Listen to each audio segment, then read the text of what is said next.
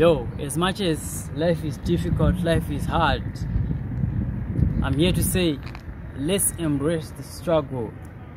Let's embrace the struggle. Instead yekuti tifocus nema-negative, ngati- let's stay on positive. Nyange uri pama-one, find something that can uplift kwete kutsomana nezvinhu zvinotokupinza pa-worst situation iwe uri mu-worst situation let's embrace the struggle let's embrace the struggle what matters is what you do during struggle what matters is what you do paunenge uri pama-one make sure you take real steps many steps when you are going through hard times because that's where they count most.